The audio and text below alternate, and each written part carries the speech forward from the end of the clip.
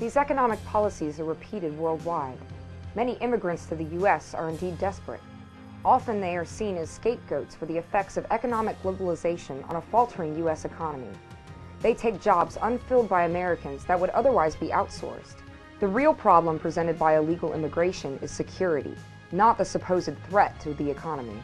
The militarization of the border was initiated by Clinton in 1994, Operation Gatekeeper. Something else happened in 1994. NAFTA was implemented.